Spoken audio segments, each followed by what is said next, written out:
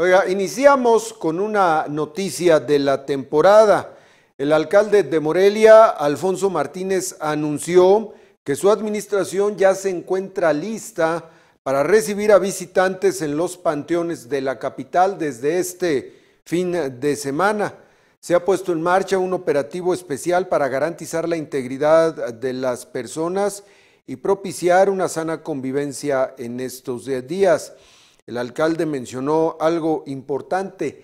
Se otorgaron 800 tolerancias para comerciantes en las inmediaciones del Panteón Municipal y en los demás panteones de Morelia, de todo el municipio, se otorgaron mil tolerancias más, esto buscando la reactivación económica. Ojo, no se permitirá la venta de alcohol.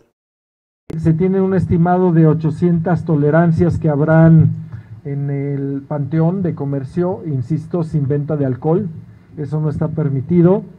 en el resto de los panteones habrán mil tolerancias más, es decir, uno de los temas fundamentales de estas fechas es la reactivación económica, la generación de empleos y todo lo que la gente que vive en torno de estas tradiciones.